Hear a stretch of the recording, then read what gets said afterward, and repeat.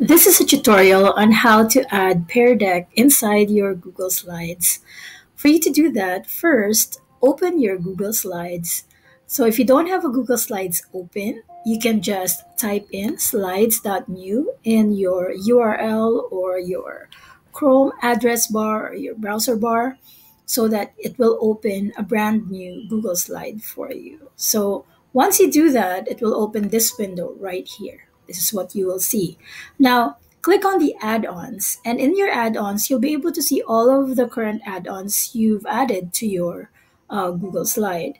Now, if you would like to manage them or you would like to remove some of them, just click on manage add-ons. But if you want to add, and in this case, we're going to be adding Pear Deck, just click on get add-ons. So wait for this window to load and uh, look for Pear Deck. So Pear Deck is right there in front. It's one of the most popular add-ons of Google Slides. But if you don't see it there, just click on the search field and type Pear Deck for you to be able to see it. In this case, we're just going to click on Pear Deck.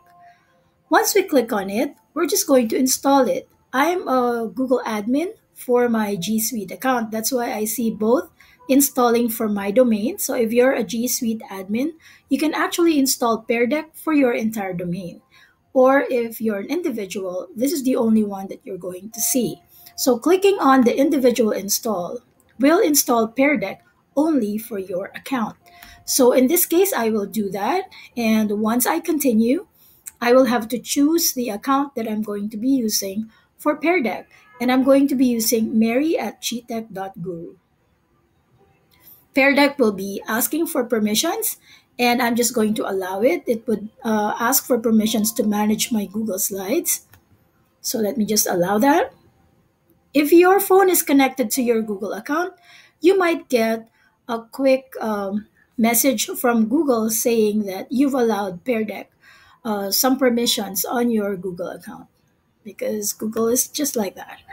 There, so now that it's already installed, you're going to need to do one more step. So let me just close this window and you can see that Pear Deck is right there on the side of your Google slide now. However, I'm just going to complete um, my free account. So I'm just going to sign up for a free account. If you do have a Pear Deck um, license for your school, just ask for it from your admin. But if you don't, that's all fine because we can always complete our free account. So I'm just going to click on that. And what you do is you log in with your Google account. So in this case, I'm going to log in with my uh, with my G Suite account, which is Mary at gtech.guru. I'm going to choose that I'm a teacher and I'm going to authorize with Google. So you need to make sure that you do these steps before we do our uh, training. So as you can see, I have lots of Google accounts right here. Um, most of them are G Suite accounts. Then another set of permissions right there. I'm just going to allow that.